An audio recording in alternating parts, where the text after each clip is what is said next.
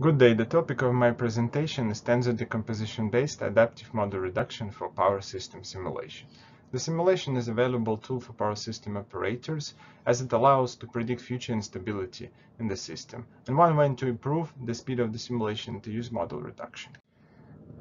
So here I'm going to explain tensor decomposition-based model reduction. We start with the original model with nonlinear differential equations and um, we calculate the deviation of the states using Taylor series expansion. The first term is just linearized system, and higher order terms are represented by matrices whose dimensions are number of states by the number of states in the order of the order.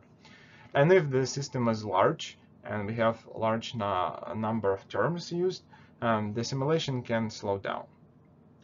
In order to uh, prevent this, we represent the high-order terms matrices by a tensor, which are multidimensional arrays that can be decomposed using tensor decomposition into rank 1 tensors, which are calculated by the outer product of factor vectors.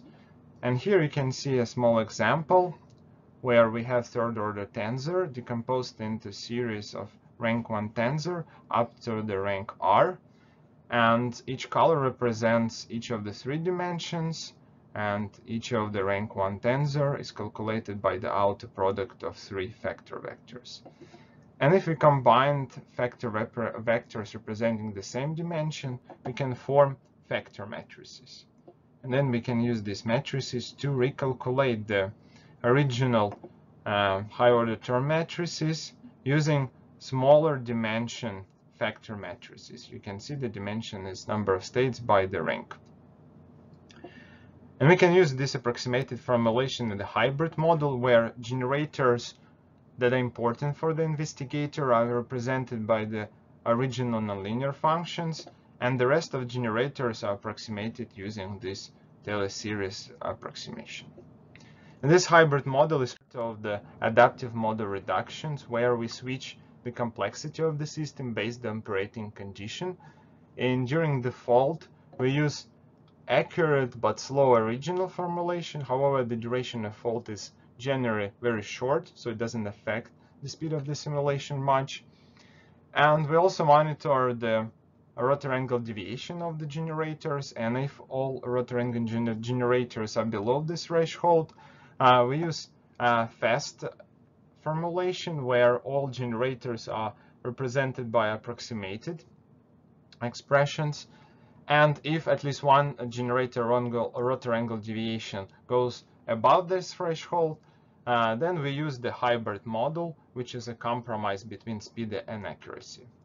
We tested this approach on 140 bus NPCC system where we defined study area with nine generators representing New England part of the system and external area with 39 generators representing the rest of the system. Two areas are connected by two tie lines.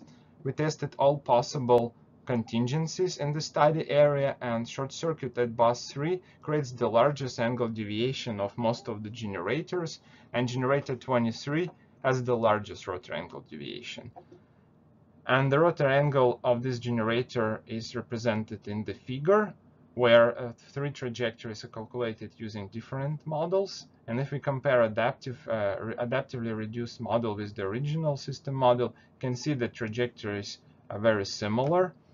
So the adaptively reduced model can follow the trajectory of the original system. And however, if you use linear reduced model, we use balanced truncation in this case, it doesn't follow the original trajectory well and can be also seen yeah, based on the root mean square error. The linear model reduction creates 22 uh, degree error, while the proposed adaptive model reduction has just 4 degree error while maintaining the same simulation speed as the linear reduced model. This is achieved by the switching to a less complex system model where the disturbance is small. And this simulation time is four times faster than the original simulation. And as the conclusion, application of adaptive model reduction substantially increases the speed of power system simulation, and the proposed tensor decomposition-based adaptive model reduction method improves the accuracy of the simulation compared to the traditional method while maintaining the same speed of the simulation. Thank you for your attention and would like to answer your questions in Q&A.